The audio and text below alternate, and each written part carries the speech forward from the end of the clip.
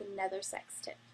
We've been getting quite a few emails and we didn't quite realize how many young people were actually watching our shows.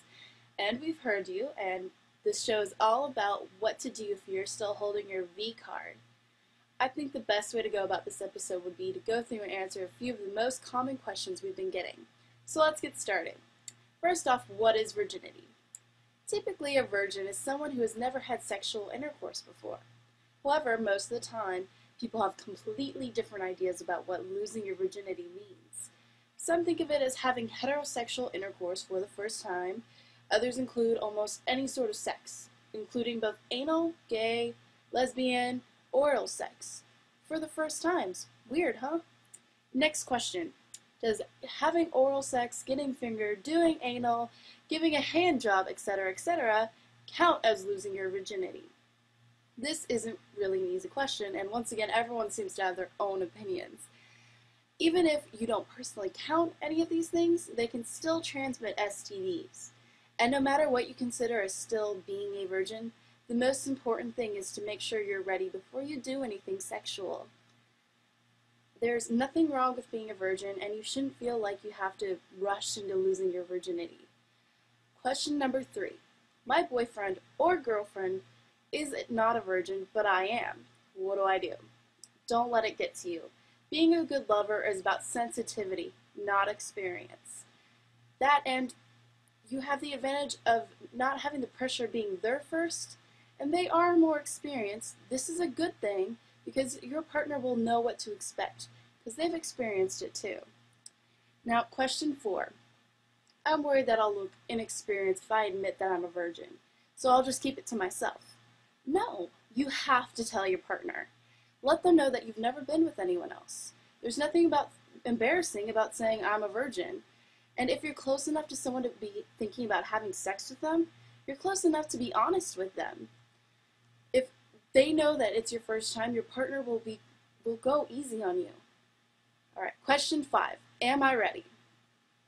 If you're asking this question, then you're probably not ready. Do not let your friends pressure you. Just because other people are saying that they've had sex doesn't mean that they've actually done it.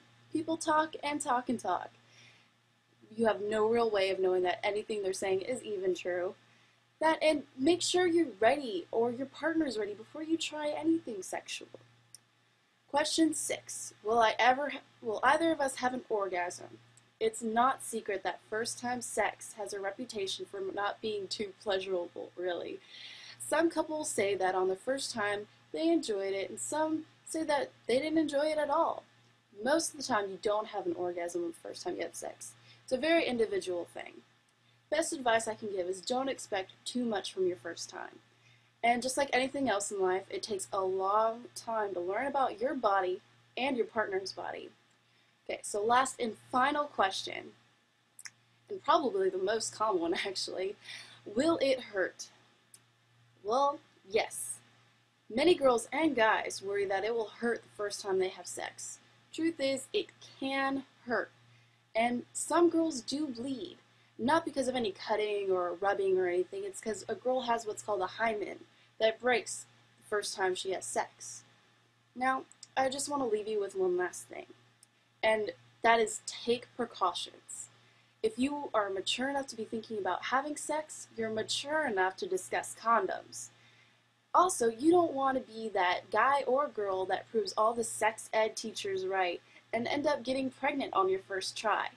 And it's perfectly fine to ask your partner when the last time they were tested and how many people they've slept with since. So, that being said, if you're going to try sex for the first time, make sure it's fun. Don't let the stress get to you and Make sure you're ready, and please be safe. So that's it for this edition of Sex Tips. Email me any questions you have at justine at intercourse.tv. Thanks very much.